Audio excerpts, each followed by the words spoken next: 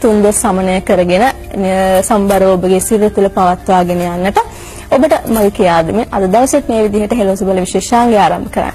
ශ්‍රී ලංකා සංචාරක අමාත්‍යාංශය හා ශ්‍රී ලංකා ප්‍රවර්ධන කාර්යාංශයේ හිටපු ආයුර්වේද උපදේශක ඒ වගේම තිඹිරිගස්සාය ප්‍රාදේශීය ලේකම් කොට්ටාශයේ ආයුර්වේද සංරක්ෂණ සභාවේ සභාපති.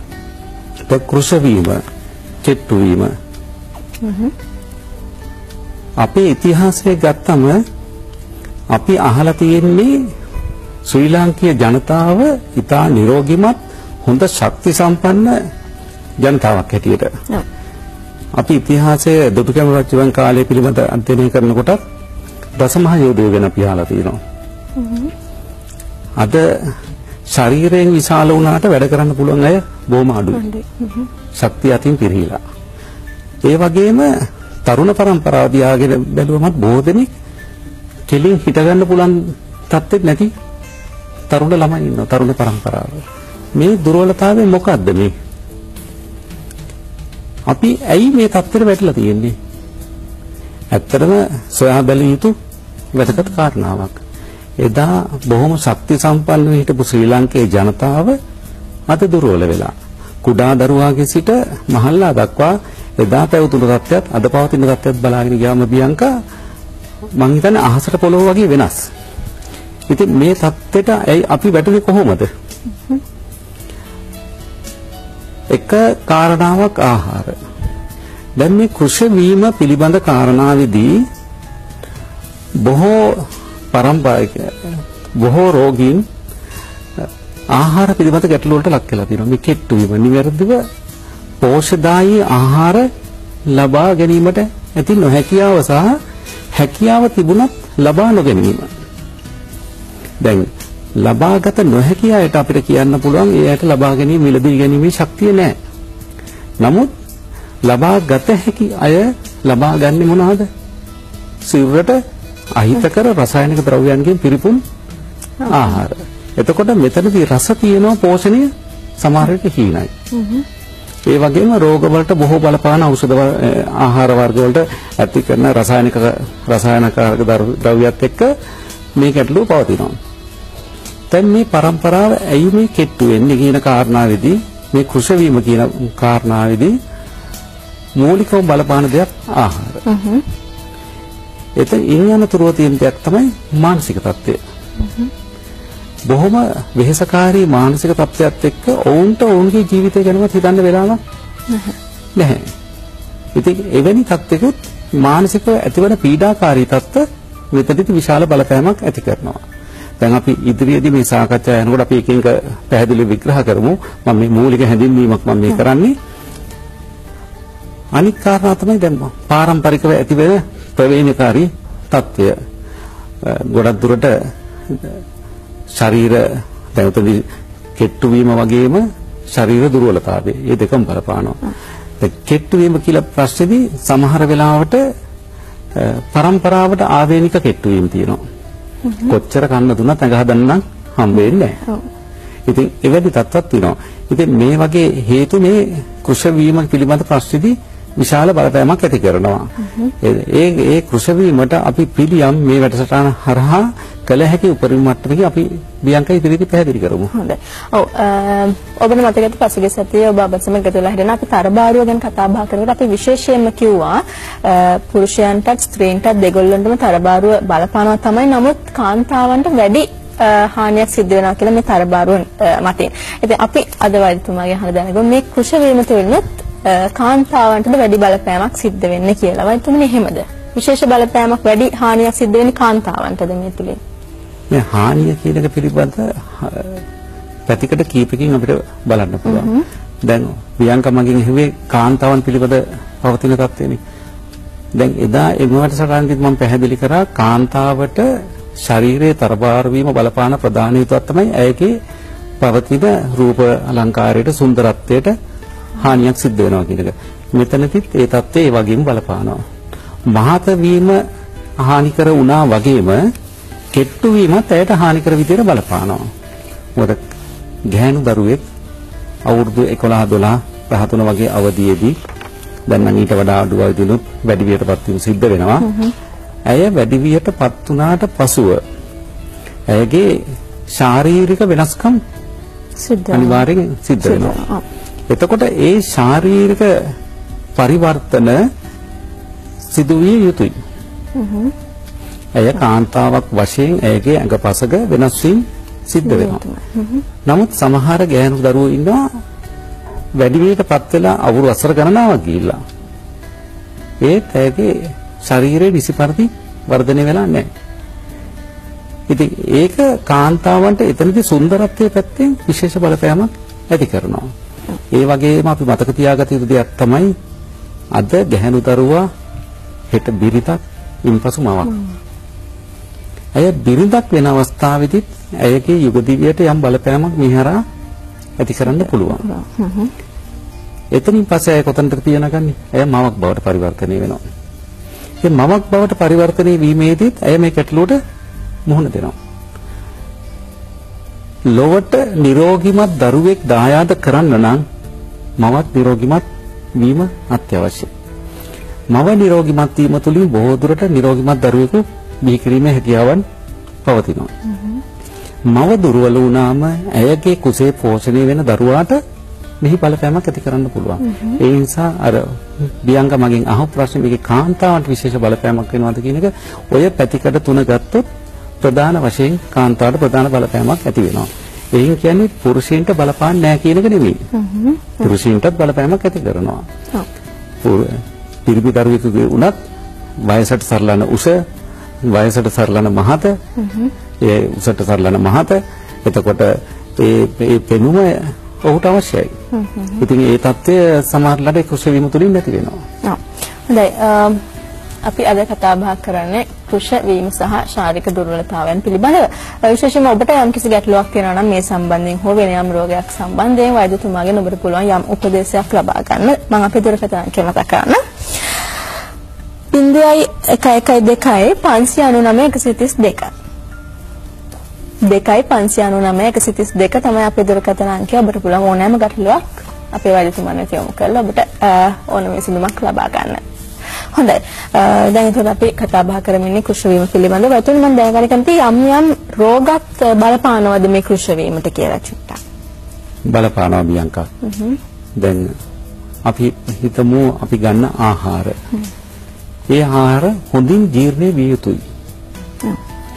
ආයුර්වේද වෛද්‍ය විද්‍යාවට අනුව අපි ගන්න සියලුම ආහාර සප්ත ධාතුන් බවට පරිණත වෙනවා. මේ ධාතුන් පෝෂණය නිසි පරිදි පෝෂණය වීම අපේ ශක්තිය. ඉතින් සප්ත ධාතුන් රස රක්ත මාංශ මේදස් අස්ථි මజ్ජා ශුක්‍ර මේ සප්ත ධාතුව නිසි පරිදි පෝෂණය වීම අපි ගන්න ආහාර තුලින් නිසි පරිදි පෝෂණය වීම තුලින් අපි නිරෝගිමත් හොඳ සිරුරකට උරුමකම් තියෙනවා. සමහර විට අපිට පවතින අජීර්ණ හේතු විවිධාකාර අජීර්ණ තත්ත්ව බොහෝ දෙනාට ඇති වෙනවා. අපි කන කෑම වලින් වෙන්න පුළුවන්. අපි ගන්න වෙනත් වෙනත් අපේ ක්‍රියාවලියන් තුලින් වෙන්න පුළුවන්. යම්කිසි අජීර්ණ තත්ත්වයක් ඇති වුණොත් ඒ බඩේ ඒ ආහාර දිරවීමේ ශක්තිය හීන වෙනවා. ආහාර දිරවීමේ ශක්තිය හීන වුණාම ඒ රෝගියාට අවශ්‍ය කරන ඒ පුද්ගලයාට අවශ්‍ය කරන ශක්තිය ආහාරයෙන් අව- තමයි මේ සප්ත ධාතුව නිර්මාණය වෙන්නේ. ශරීරයට ඕන කරන ශක්තිය නිර්මාණය වෙන්නේ මේ ආහාරයෙන්. එතකොට ඒ අවශ්‍ය කරන ශක්තිය මේ පුද්ගලයාට නොලැබී යනවා. ඒ අජීර්ණ වගේ හේතු මතත් ශරීරය දුර්වල වෙන්න පුළුවන්. ඒ වගේම අහලා ඇති පාණ්ඩුව. ඒ පාණ්ඩු රෝග තත්ත්වෙදිත් මේ දේම සිද්ධ වෙනවා. එතෙන්දී අජීර්ණ තත්ත්වයක් නෙමේ. නමුත් පාණ්ඩු රෝගයේදී අපි නිකනුත් අහනවනේ පණ නැත ඇයි පාණ්ඩුවද කියලා නේ? ඉතින් ඒ පාණ්ඩු රෝගයේදීත් ඇඟ පණ නැතිවීම ඒ අවශ්‍ය කරන ශක්තිය ඒ නැතිවීම තුලින් ඒ දුර්වලතාවයට ලක් වෙනවා. ඒ වගේම ග්‍රහණි රෝග. ආමාශයෙන් පසුව අ, ඒ අන්ත්‍රයේ තියෙන කොටස තමයි ග්‍රහණිය.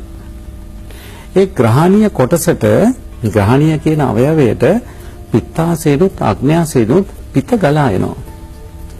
ආහාර මාර්ගයේ තියෙන ප්‍රධානම කොටසක් තමයි ග්‍රහණීය. අපි විශේෂයෙන් කතා කරන්නේ ආමාශය ගැන. නමුත් ග්‍රහණීය ඊට වැදගත් කොටසක්. මේ ග්‍රහණීය කියන කොටසින් ශරීරයට ඒ අපි ගන්න ආහාරවල රසය ශරීරයට උරා ගන්නවා. ඒ ග්‍රහණයේ කොටසෙන් පිත් ගලා එනවා පිත්තාශය හරහා සහ අග්න්‍යාසික යුස ගලා එනවා අග්න්‍යාසය හරහා ඒ ග්‍රහණී කියන කොටසට. එතෙන්දී මනා ජීර්ණයක් සිද්ධ වෙනවා. ආමාශයේ මූලික ජීර්ණයක් සිද්ධ වෙනවා. එතනට පස්සේ ජීර්ණය වෙන්නේ ප්‍රධාන වශයෙන් ග්‍රහණීය හරහා. එතකොට මේ ග්‍රහණී දෝෂ ඇති වෙනවා. ග්‍රහණීය දුර්වල වීමේ හේතු මත සහ ග්‍රහණීයට අවශ්‍ය කරන පිත් සහ අඥාසික විශ්ව නිසිපරිදි ගලා ඒම නැතිවීම තුළින් සමාහට ග්‍රහණී දෝෂ ඇති වෙනවා. ඒ ග්‍රහණී දෝෂ වලදී විශාල වශයෙන් දුර්වල වීම ශාරීරික දුර්වල වීම නැති වෙනවා. ඉතින් මේ වගේ සරල කාරණා වගේ ග්‍රහණීය දෝෂ අජීර්ණ පාණ්ඩුව ඒ වගේම අර්සස් රෝග ગેස්ට්‍රයිටිස් අපි කලින් සාකච්ඡා කරා අම්ල පිත්ත රෝග තත්ත්වය. එවැනි රෝග තත්ත්වවල බලපෑම තුලින් මේ දුර්වලතාවයන් නැති වෙනවා. ඒතකොට ශරීරයට අවශ්‍ය කරන ආහාර රසය නිසි පරිදි උරාගෙන රක්ත මාංශ මේද සස්ති මච්චා ශුක්‍ර කියන ඊතුරු ධාතුන් හයට පරිණත වීම සිදු විය යුතුයි. එතකොට අර මූලික පාකය පැසවීම නිසි පරිදි සිද්ධ වුන් නැති වුනාම ඊතුරු ධාතුන්ට පරිණත වීම ආයුර්වේද වෛද්‍ය විද්‍යාව හැටියට සඳහන් කරලා තියෙනවා. එහෙම දුර්වල වීම සිද්ධ වෙනවා. ඒ සිද්ධ වුනාම එහි ඵලයක් වශයෙන් අර ශාරීරික දුබල වීම ඇති වෙන්න ඉඩ තියෙනවා. ඇති වෙනවා. ඉතින් ඒ දුර්වල වීමෙන් ඇඟ සමහර විට එතනින් පස්සේ ඇතිවන මාංශ වර්ධනය, ඒ වගේම ශරීර ශක්තිය, ඒ සෑම දෙයක්ම එතන හීන වෙනවා. ඒ හීන වුණාම අපි කතා කරන කුස වෙනවා, ශක්තිය දුර්වල වෙනවා. ඒ වගේ විවිධ කෙටි කෙටි නම් වලින් අපි හඳුන්වනවා. නමුත් මූලික හේතුව බලාට ගියාම අර වගේ රෝගවල හේතුන් මත තමයි ඇති වෙලා තියෙන්නේ. හොඳයි අපි කතා බහ කරමින් ඉන්නේ කුෂ වීම සහ ශාරීරික දුර්වලතාවයන් පිළිබඳව මේ සෝදානම් වෙන්නේ පොඩි විරාමයක් කරන්න. Good afternoon, Sri Lanka. අපි කතා බහ කරමින් ඉන්නේ කුෂ වීම එහෙම නැත්නම් ශාරීරික දුර්වලතාවයන් කුෂ වීම සහ ශාරීරික දුර්වලතාවයන් පිළිබඳව. සමහරට ඔබ මවක් නම් අනිවාර්යයෙන්ම තමන්ගේ දරුවා පුංචි කාලේදී ඕන මවක් කැමති දරුවා ටිකක් මහතට ඉන්නවා නම් කෙට්ටු දරුවෙක් කොච්චර ලෙඩ රෝග වලින් නිදහස් වෙලා කෙට්ටු දරුවෙක් වුණත් සමහරවිට අම්මලට කැමැත්ත තියෙන ටිකක් මහත දරුවෙක් ඉන්නවා නම් ඒ නිසා සමහරලාට හිතුමතේටත් සමහර විටමින් වර්ග පාවිච්චි කරන වෙලාවල් අපි දැකලා තියෙනවා.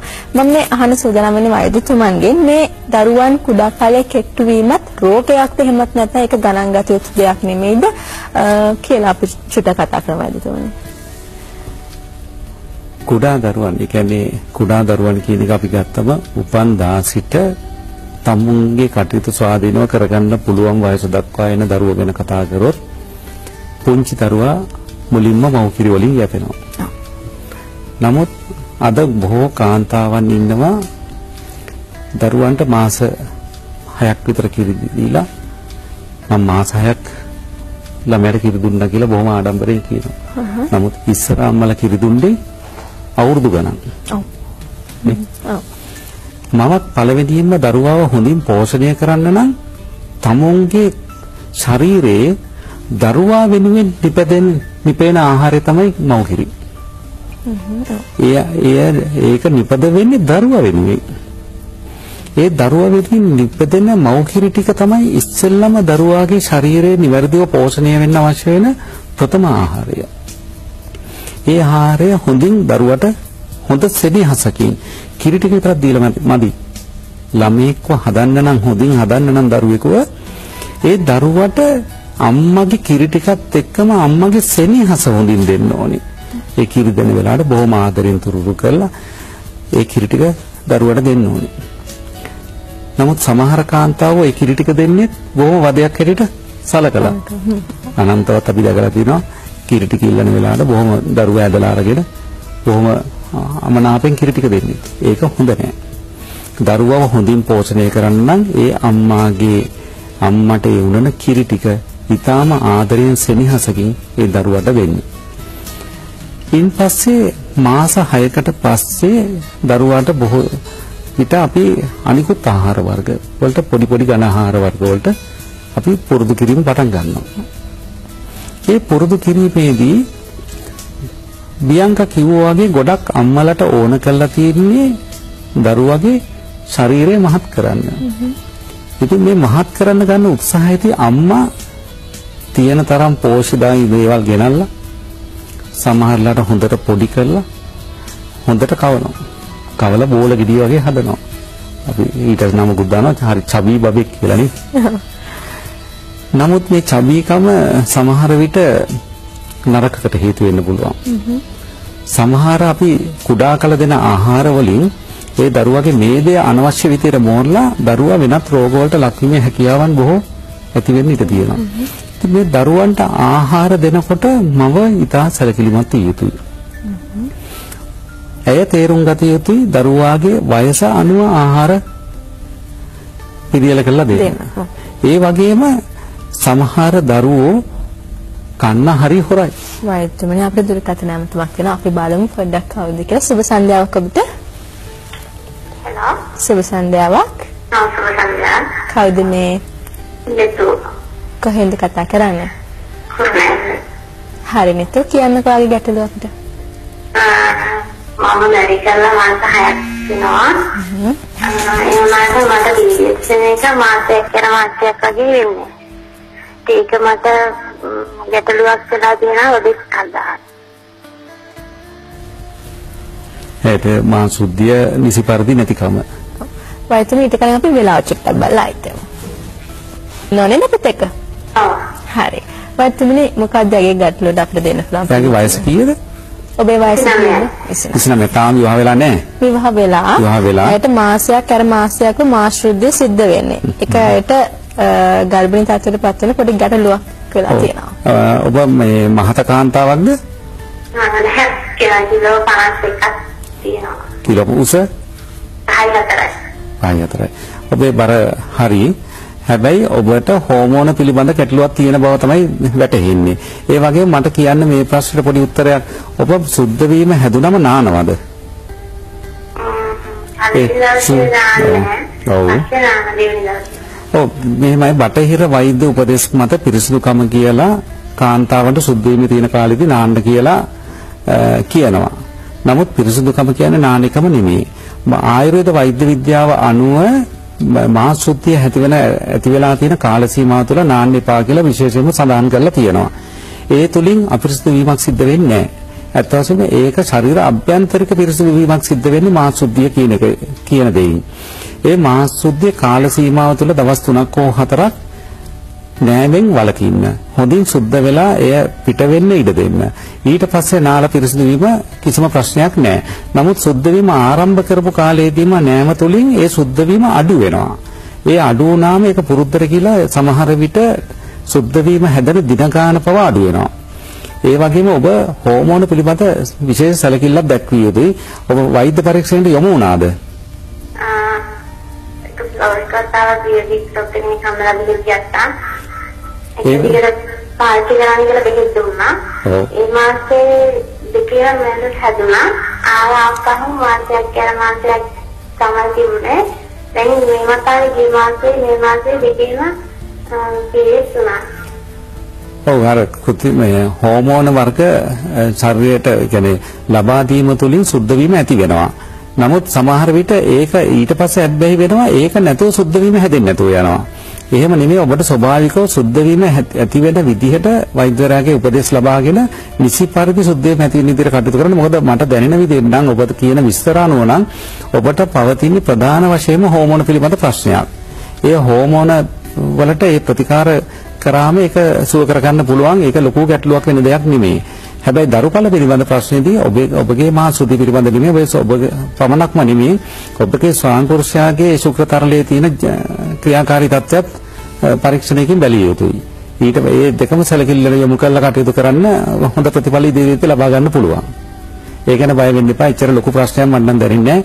ඒ හෝමෝන පිළිබඳ ප්‍රශ්නය හැබැයි ඉක්මනින්ම නිවැරදි කරගන්න නැත්නම් පසුවට ඕක ටිකක් අපහසු වෙනවා. හොඳයි නේද? බොහොමත්ම ස්තුතියි අපිත් එක්ක එකතු වෙලා ඉන්නාට. හරි. වෛද්‍යවරු අපි දැන් කතා බහ කරමින් ඉන්නේ කුඩා කාලේ දරුවන් කෙට්ටු වීම මොන විදිහටද බලපාන්නේ කියලා රෝගයක්ද එහෙම නැත්නම් ඒ සම්බන්ධව අපි කතා බහ කරමින් අපි මාතෘකාට යමු යමු.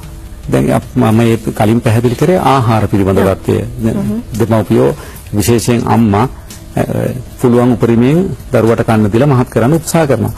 ශරීර දරුවාගේ ශරීරය වැඩෙන්නේ බොහෝ දුරට දෙමව්පියන්ගේ ආහාරයත් එක්ක. තාත්තා කෙට්ටුනා සමහර විට එක්ක අම්මා කෙට්ටුනා එක්ක දෙන්නම කෙට්ටුනා සමහර විට ඒ දෙන්නගෙන් එක්කෙනෙක්ගේ ආහාරයට හෝ දෙන්නගේ ආහාරයට දරුවන්ගේ ශරීර වර්ධනය වීම සිද්ධ වෙනවා. ඒතකොට ආහාරයට සිද්ධ වෙන කෙට්ටු වීම බොහෝ දුරට අපි ආහාර වලින්ම වෙනත් පෝෂණ ද්‍රව්‍ය වලින්ම 100%ක්ම වෙනස් කරගන්න බෑ. නමුත් යම් පරම තරමකට පරිවර්තනයක් කළගත හැකියි. ඉතින් ඒක දෙමව්පිය තේරුම් ගන්න ඕනේ තමුන්ගේ දරුවා තමුන්ගේ ශරීර තත්ත්වයට එක්ක වෙනස් වීම. ඒක දෙමව්පියව අවබෝධ කරගත යුතුයි. ඒ වගේම රෝග හේතු මතත් දරුවෝ කෙට් වෙනවා. අර මං කලින් කිව්ව පාණ්ඩු වගේ රෝග හේතු, ඒ වගේ මාන්දන් තත්ත්ව, ඒ වගේ පෝෂණ හීනතාවයන් සමහර විට දරුවට අවශ්‍ය කරන ඒ වයසේදී අවශ්‍ය කරන පෝෂණය නිසි පරිදි නොලැබීම තුළින් දරුවා කෙට්ටු වෙන්න පුළුවන් දුර්වල වෙන්න පුළුවන්. ඒ වගේම තවත් ඔතෙන්ද කෙට්ටු වීම සහ දුර්වල වීම කියන ප්‍රශ්නේදී තවත් එක දෙයක් මට විශේෂයෙන් කියන්න ඕනේ. ඒක ලොකු පොඩි කාටත් පොදු දෙයක්. කෙට්ටු කෙට්ටු වෙච්ච පළියට දුර්වලයි කියන්නත් බෑ. බොහෝ දෙනා ඉන්නවා ශරීරයෙන් කෙට්ටුයි. නමුත් හොඳට ඇඟපත තියෙන අයට වැඩි ශක්තිය අතින් බොහොම හොඳ තත්ත්වක ඉන්නවා. ඒ නිසා අපිට තව දුරකථන ඇමතුමක් තිබෙනවා අපි බලමු කවුද කියලා. සුබ සන්ධ්‍යාවක් ඔබට. සුබ සන්ධ්‍යාවක්. කවුද මේ ගායත්‍රි කොහෙන්ද? කිරිබලි හරි ගායත්‍රි කියන්න ගැටලුව අපිට. වෛද්‍යතුමනි මගේ වයස අවුරුදු 19යි. මම මගේ බර කිලෝ 35යි උස අඩි 5යි අඟල් දෙකයි. මම ගොඩක් කෙට්ටුයි. ඒක තමයි ප්‍රශ්නේ මේ වෛද්‍යවරුන් හමු වෙලා කිව්වට ඒගොල්ලෝ කියනවා ඒක ගණන් ගන්න එපා කියලා. ඔබ වැඩි විදිහටපත් වුණේ වයස කීයේදීද? මම වැඩි විදිහටපත් උනේ අවුරුදු 14 දී. 14 දී. එතකොට දැන් අවුරුදු අ, පහක කාලයක් වෙනවා. මේ වෙනකොට ඔබේ ශරීරයේ යම් තරමක් දුරට පරිවර්තන වී ඒ කියන්නේ කාන්තාවක් වශයෙන් ගැහැණු දරුවෙක් වශයෙන් විය යුතු වෙනස් වීම ඔබේ ශරීරය තුළ විය යුතුයි. ඔබේ ශරීර කෙට්ටු වුණාට සාමාන්‍යයෙන් අවයව වැඩිම සිද්ධ වෙලා තියෙනවද? සාමාන්‍යයෙන් ඔව්. ඔව් මේ කෙට්ටු වීම වෛද්‍ය දැන් ඔබ ඔබ නොදැක මම මේ විස්තරයට උත්තර දෙන්නේ ඇත්ත වශයෙන්ම සමහර විට ඒ කෙට්ටු වීම ඔබේ ශරීරයේ පෙන- පෙනුමත් එක්ක කොයි ආකාරයෙන් බලපානවද කියන්න දන්නේ නැහැ. මොකද ඒ වෛද්‍යවරු සමහර විට දැන් ඔබ කෙට්ටුයි කියලා මානසිකව හිතුවට ඒ වෛද්‍යවරු ඔබේ උසස ඒ වගේම බර වයස ඒ අනුව නිවැරදි කියන එක වර්ධනය නිවැරදි කියලා තීරණය කළා ඇති. ඔබ හිතනවා නම් ඔබ ගොඩක්ම කෙට්ටුයි කියලා ඒ වගේම සමහර විට බොහෝ ගැහැණු දරුවන්ට තියෙනවා අහල ඇති සමාජයේ බහුල රෝගයක් ශ්වේත ප්‍රදරය ඇඟ උණු කල්ලා යනවා කියලා සමාජ විවහාරයේ පවතින්නේ ඒ ශ්වේත ප්‍රදරය කියන රෝගයේදී බොහෝ ගැහැණු ළමයි කාන්තාවන් අ, කෙට්ටු වීමට ලක් වෙනවා සමහර හිතනවා මේක රෝගයක් නෙමෙයි කියලා මේක රෝගයක්. ඒ ශ්වේත ප්‍රදරය කියන රෝගයේදී එවැනි තත්ත්ව මතුවෙනවා. හැබැයි ඔයා වගේ ගැහැණු දරුවන්ට හොඳයි කුස්මාණ්ඩ රසායනය. කුස්මාණ්ඩ රසායනය කියන අ, ඖෂධය අරගෙන උදේ සවස එලකිරිත් සමග කන්න. උස්මාණ්ඩ රස. කුස්මාණ්ඩ රසායනය. ඒක ගොඩක් හොඳ බෙහෙතක්. ඒක පාවිච්චි කරන්න උදේට හවසට අ, එතෙන්නුත් එහාට ඔබට යම්කිසි අ, ප්‍රතිඵලයක් නොලැබෙනවා නම් අත් වශයෙන්ම අ, වෛද්‍ය පරීක්ෂණ පරීක්ෂණයකට යොමු වෙලා ඒ කියන්නේ පරීක්ෂණ කියලා මහා ලොකු දේවල් ඔබ ඔය ඔය කටයුතු වෙනින්නම් කරන්න අවශ්‍යයි කියලා මම හිතන්නේ යොමු වෙන්නේ එතකොට ඒ සඳහා පිළියමක් සකස් කරගන්න පුළුවන් ඒ ගැන බය වෙන්න එපා. අන්තික කෙට්ටුයි කියලා මානසිකව පසුතැවෙන්න එපා ඊට තිබුණාට වැඩි කෙට්ටුයි. බොහොම ස්තුතියි වෛද්‍ය. බොහොමත්ම ස්තුතියි ඔබටත් අවසන් එකතු වීම සම්බන්ධයෙන්. හොඳයි වෛද්‍යතුමනි අපිට කාල වේලාව අදට අවසන් වෙනවා මේ අපේ කෘෂි වීම ගැන කතා කරන්න තිබෙන නමුත් අපි ඔබ දුක්ඛින් අවශ්‍ය නැහැ ලබන සතියේත් අපි කතා බහ කරන සූදානම් වෙලා ඉන්නේ මේ මාතෘකාව සම්බන්ධයෙන්ම ඒ වත්තමනේ විශේෂ දෙයක් කියන්න තියෙනවද අපි අවසන් කළා අද අර කෙට්ටු වීම සම්බන්ධයෙන් කුඩා කුඩා දරුවන්ගේ ප්‍රශ්නේ අපි අවසන් කරේ නෑ. නමුත් දැන් අපි ලබන සතියේ. අපි එතනින් පටන් අරගෙන අපි ඇත්තටම අපි ප්‍රේක්ෂකයා අතරමං කරන්නේ නෑ. ඔව්, ඔව්. අපි ඔවුන් දැනුවත් කරමු අපි ලබන සතියේ මීට අතදී පුළුල් ගිහිල්ලා ආයෙත් එන්න